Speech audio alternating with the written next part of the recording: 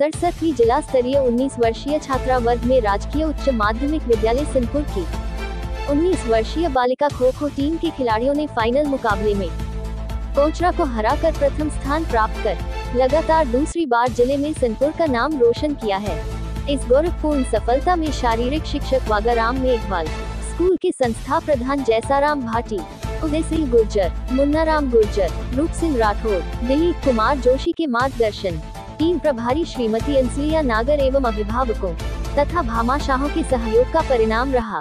विजेता की पुरस्कार राशि इक्यावन हज़ार रूपए की राशि बालिकाओं को भामाशाह द्वारा प्रदान कर दी गई है।